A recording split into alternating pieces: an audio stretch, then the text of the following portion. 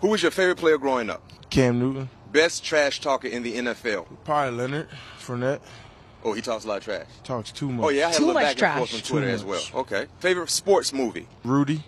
Most embarrassing song on your playlist? Shakira. That's not embarrassing. Secure. Who's Hips, that? hips, hips don't lie. Oh, okay. I, I feel like Shakira is not Yeah. I mean, the way that I do it, it's probably embarrassing. like, All right. Fair. Last question. Weirdest thing about you that few people know? I have a foot fetish. A foot fetish. Yeah. You like toes? Yeah. Okay.